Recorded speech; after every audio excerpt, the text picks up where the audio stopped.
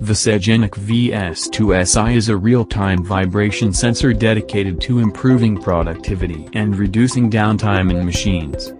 These compact sensors provide real-time monitoring of robots' health condition during production and will be able to provide immediate feedback when abnormalities occurs. The vibration sensor head can be installed inside the pad conditioning arm, detecting the vibrations generated in the Y and Z axis during the conditioning process. Any undesirable events experienced during the process will be effectively captured by the sensor.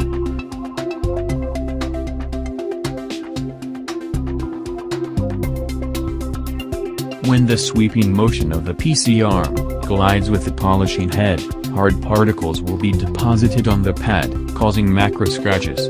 This undesirable condition can be immediately detected by the sensor readings on the Y and Z axis.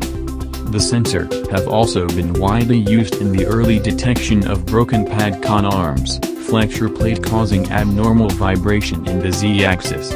Broken flexure plate issue will result in pad glazing, inducing micro-scratches, and removal rate drift issue. Immediate corrective action should be subsequently taken.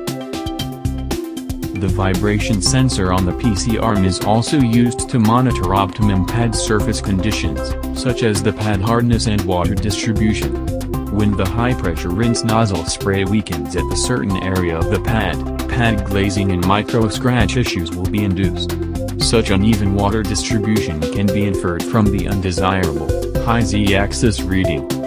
Aside from the direct vibration reading from the PC arm, the sensor will also read unwanted vibration induced indirectly, such as rusty bearings in the polishing platen. The worn-out bearings caused unstable torque that resulted in wafer polish endpoint instability.